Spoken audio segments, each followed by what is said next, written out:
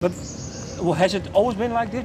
Because I can imagine when, uh, well, after Living Targets, when you have such a good songwriter, then he is the boss in the studio, or He, uh, he don't uh, know. I think he, he comes with ideas, that, and then he um, he starts the game. You know, like when he, uh, he, he Thomas is always the one uh, who um, he makes a lot of demos. Demos. Uh, he- he's just making constantly. He writes. You know.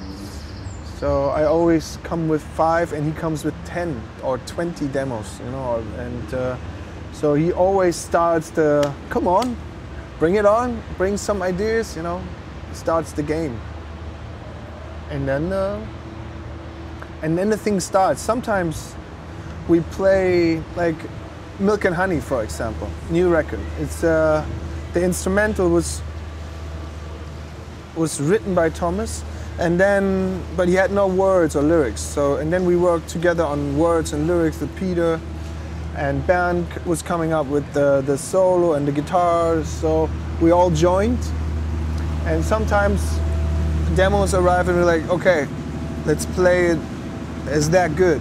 You know, so we always, it's, it's not, it's not, it's not always the same way where, where songs go. You know, songs go really like, "Whoa, that road, that road, that one. So it's Was- a bit unpredictable. was it hard uh, to record this album if you compare the recordings of the previous albums?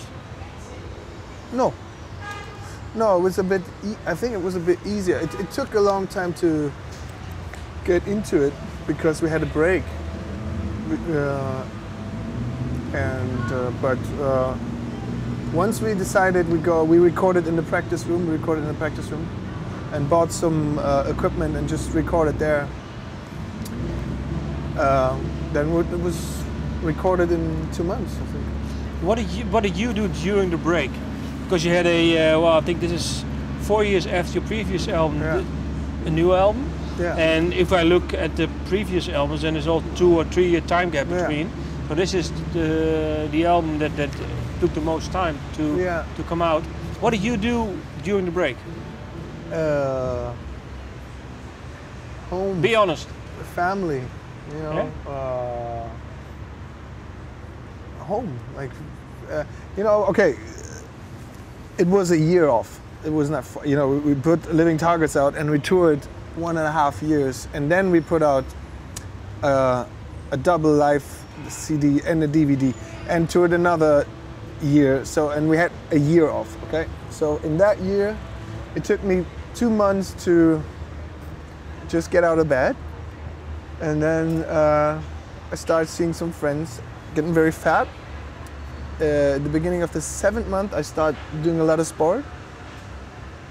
And at the 12th, I, ca- I just called everybody and said, Can we please get back into the fucking room? Do you have a wife and children?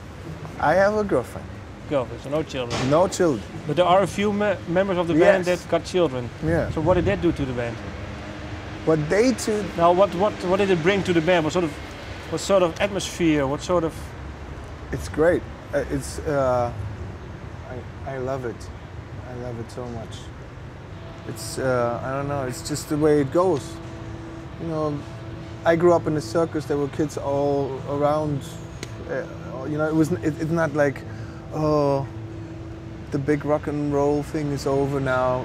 Not at all. You know, always. It was always. I always admired the big rock and rollers, like Springsteen or Tom Petty. They all have kids. And they still do it, and they still put out great music. So it's and sometimes they they start getting very very good. You know when the when the when the serious life begin. so I don't know. It's I really like it. I love it.